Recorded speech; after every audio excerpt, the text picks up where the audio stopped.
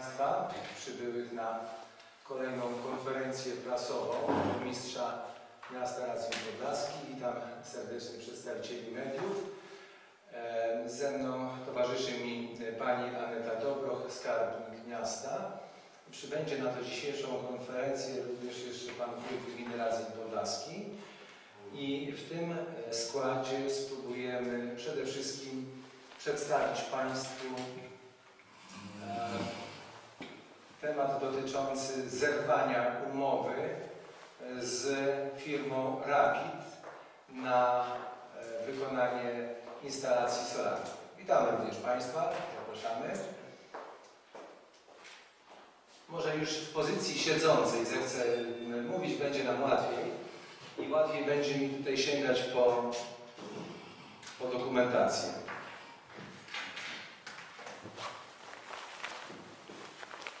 Otóż y, temat, y, programu Czysta Energia w powiecie radzyńskim jest rzeczywiście tematem dominującym na dzisiejszej naszej konferencji prasowej, ale jeśli będą inne pytania, e, oczywiście postaram się Państwu odpowiedzieć w miarę oczywiście możliwości i wiedzy, jaką posiadam na chwilę obecną.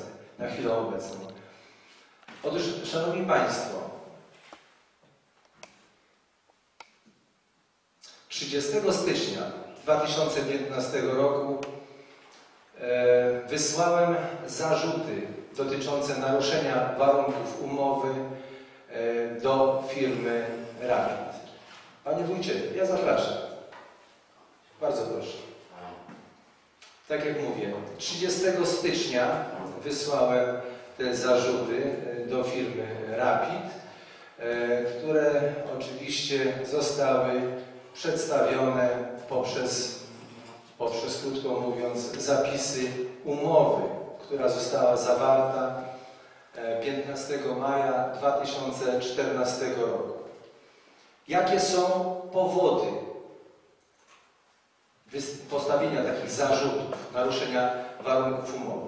Otóż, Szanowni Państwo, w paragrafie 21 umowy jest e, zapis, który mówi, że jak, kiedy występują naruszenia warunków umowy. Ano, e, zarzut, zarzuty dotyczące naruszenia warunków umowy strony przekazują sobie wzajemnie zachowanie formy pisemnej, a zarzut, zarzut dotyczy oczywiście paragrafu 22 ustęp pierwszy punkt trzeci, który mówi o tym, że jeśli są opóźnienia wykonawcy w wykonaniu przedmiotu umowy ponad 30 dni w stosunku do terminów określonych w harmonogramie rzeczowo-finansowym, o którym mowa w paragrafie drugim, wówczas podejmuje się takie działania. Harmonogram rzeczowo-finansowy, który jest integralną częścią umowy, mówi o tym wyraźnie, że do końca roku 2014 firma Rapid powinna wykonać 786 instalacji solarnych na terenie powiatu radzyńskiego. Spośród tysiąca, które zostały niejako zapisane, zakontraktowane w umowie. W umowie, która została podpisana 15 maja 2014 roku. Do końca roku 2014, czyli do 31 grudnia, zostało odebranych 24 instalacje solarne. Tylko 24 instalacje solarne. To jest dramatycznie mało w stosunku do planowanych tysiąca instalacji, które miały być oddane do użytku najdalej 15 czerwca roku 2015. I Szanowni Państwo, w związku z tym, tak jak powiedziałem, zostały postawione zarzuty. Zarzuty, które, w których podnoszę właśnie ten niezadowalający stopień wykonania tego zamówienia. Firma Rapid y, odpowiedziała mi w ciągu kilku dni, a miała na to oczywiście 14 dni, zgodnie również z zapisami umowy. W dniu 18 lutego e, spotkaliśmy się w gronie wójtów, wszystkich wójtów powiatu radzyńskiego i tą sprawę przedstawiłem Państwu wójtom e, i oczywiście podjąłem w tym dniu decyzję, tak, jako lider tego programu, podjąłem decyzję o odstąpieniu od umowy. I tak jak wcześniej powiedziałem, podstawą odstąpienia od umowy był paragraf 22 ustęp 1 punkt 3 umowy z dnia 15 maja 2014 roku. Już cytowałem ten zapis, ale raz jeszcze chcę to e, potwierdzić, że rzecz dotyczy znikomego wręcz wykonania zadania, które było przewidziane na okres ten roku 2014. Oczywiście winien jestem Państwu przekazać również taką oto informację, że gdybym był burmistrzem w miesiącu październiku, to już na początku listopada zerwałbym umowę z firmą Rapid. A to dlatego, że ten sam harmonogram rzeczowo-finansowy przewiduje, wyko, przewidywał wykonanie do końca roku 2000, do końca września roku 2014 300, 351 instalacji na terenie miasta Radzin, gminy Radzin i gminy Ulan. Oczywiście nie została wykonana ani jedna instalacja. Za to mój poprzednik zawarł, czy też wniósł aneks do umowy w dniu 12 listopada, gdzie częściowo zmienił harmonogram rzeczowo-finansowy, a w zasadzie w części finansowej. I to, ta zmiana uniemożliwiała mi, absolutnie uniemożliwiała mi wcześniejszą interwencję. Pierwszym terminem, kiedy mogłem interweniować w tej kwestii, to był 30 stycznia roku 2015. I tak też postąpiłem. Właśnie w dniu 30 stycznia wystąpiłem do firmy Rapid, tak jak Państwu powiedziałem, z tymi zarzutami, ale również wystąpiłem z pismem do marszałka województwa lubelskiego. Wystąpiłem z taką informacją, przedstawiając sytuację, jaka ma miejsce e, w powiecie radzyńskim w kwestii realizacji tego programu Czysta Energia w powiecie radzyńskim. Zadałem również dwa pytania. Postawiłem takie dwa pytania. Jedno z nich dotyczy tego, czy teoretycznie rozważając istnieje możliwość przedłużenia tego terminu realizacji tego programu, gdyby wystąpiły okoliczności, które doprowadzą do zerwania umowy, czy też odstąpienia umowy z firmą Rapid. I drugie pytanie dotyczyło tego, czy mogę, czy możemy jako zespół liczyć na rozliczenie częściowe tego programu. Czyli krótko mówiąc, jeśli zostanie na przykład wykonanych 500 czy 600 solarów, czy będziemy tylko rozliczeni z takiej ilości solarów, a nie tysiąca?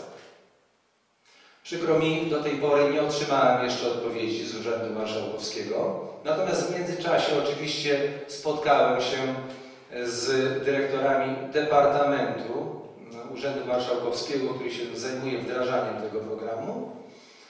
To w obecności pani skarbnik i w obecności oczywiście e, osoby odpowiedzialnej za realizację tego programu. Chodzi tutaj o pana Gryczona. Co usłyszeliśmy? Pokrótce.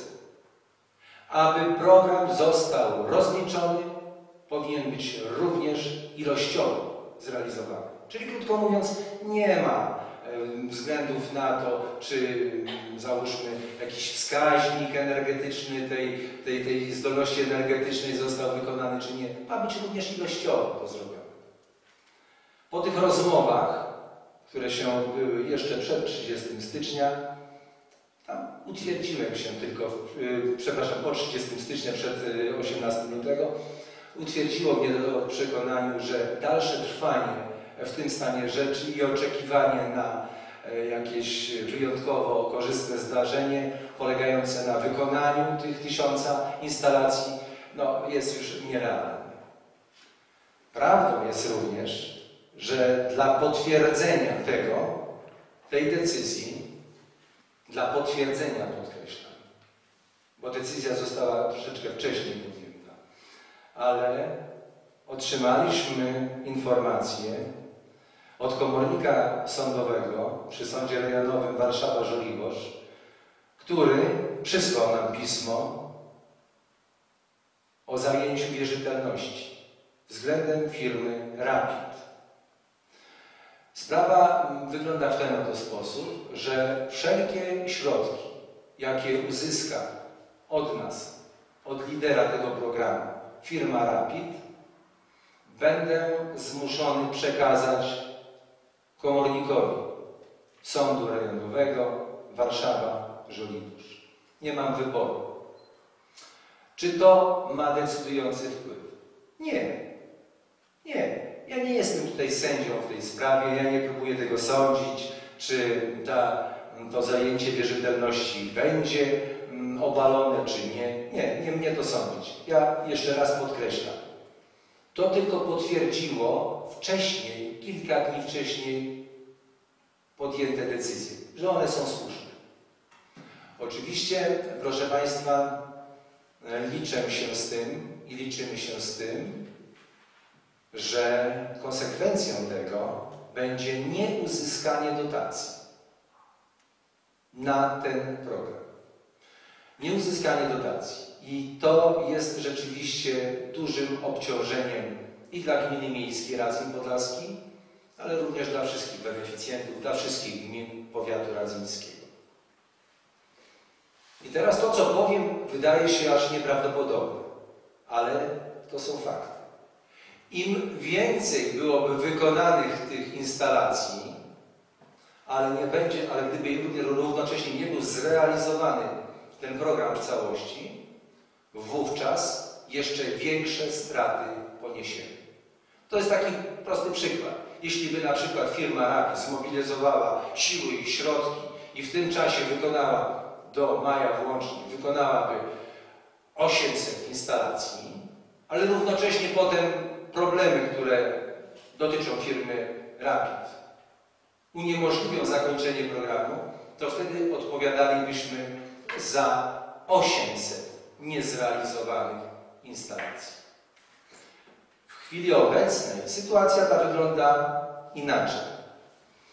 Otóż do dnia dzisiejszego jest zrealizowanych czy też wykonanych jest 123 instalacje, są wykonane 123 instalacje, przy czym na terenie miasta Radzin Podlaski jest to 40, są to 43 instalacje, e, a w trakcie wykonania jest kolejnych 20. Nie mamy informacji jeszcze z terenu, ponieważ od dnia dzisiejszego, od godziny 8, prowadzone są prace związane z przeprowadzeniem inwentaryzacji wykonanych instalacji solarnych na terenie całego powiatu. Jeśli chodzi o miasto, to można to tak to już w tej chwili uznać, że 43 instalacje są wykonane i przyjęte, natomiast kolejnych 21 jest w trakcie rozliczania. Oczywiście, że w ślad za tą decyzją, którą podjąłem, wystosowałem wezwanie do zapłaty kary umownej dla firmy Rapid, ponieważ twierdzę stanowczo, powołując się na zapisy umowy, że wina leży po stronie wykonawcy.